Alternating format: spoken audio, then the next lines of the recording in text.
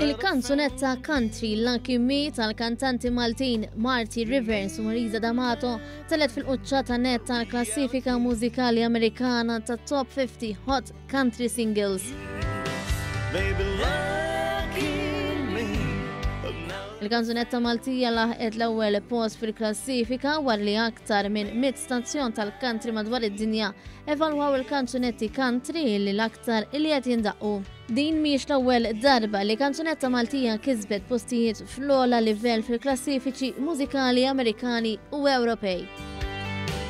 Oh, how I thank my lucky stars for lucky, lucky me.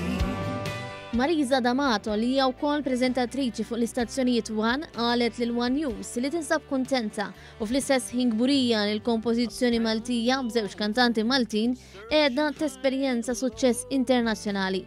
Żiedet tgħid li hi u marti dejjem emmnu bis-sħiħ fil-kanzunetta. Marisa D'Amato tkanta regolarment fl-Ingilterra u l-Irlanda u rebħet tliet awards fil-Hot Country Awards tal-Irlanda.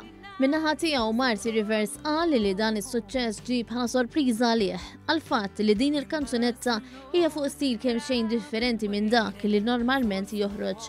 Ma' One News qal li ser ikun qed joħroġ aktar kanzunetti fuq l-istess stil ta' Lucky Me. Zid jgħid li l-kanzunetta Lucky Me qabżet kanzunetti oħra ta' kantanti b'fama internazzjonali, filwaqt li bosta DJs għandhom klim ta' tifħir dwara.